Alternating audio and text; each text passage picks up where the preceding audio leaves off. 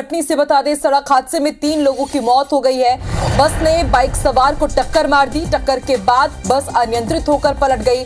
हादसे में तीन युवकों की मौत हो गई है। 20 घायल बताए जा रहे हैं। सलीमनाबाद के सलैया गाँव की दर्दनाक घटना इस वक्त की बड़ी खबर हम आपको कटनी से बता रहे हैं जहाँ सड़क हादसे में तीन लोगों की मौत हो गई। बताया जा रहा है कि बस ने पहले बाइक सवार को टक्कर मारी। टक्कर के बाद बस खुद अनियंत्रित होकर पलट गई। हादसे में तीन युवकों की मौत हो गई है। बीस घायल बताए जा रहे हैं। सलीमनाबाद के सलैया गाँव के पास ये दर्दनाक हादसा हुआ है। तस्वीरें हम आपको दिखा रहे हैं। तो बेहद दर्दनाक और बड़ा हादसा है ये। इसमें तीन लोगों की मौत हो गई। बस ने बाइक सवार को टक्कर मारी और अनियंत्रित होकर के बस खुद भी गिर गई। तेज रफ्तार में थी, बताया जा रहा है कि ये बस और इसी कारण अनियंत्रित होकर के पलटी। तीन युवकों की मौत हुई है इस दर्दनाक सड़क हादसे में।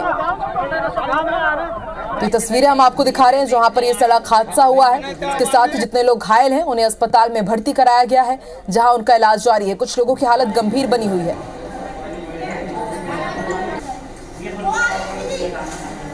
Depois deixa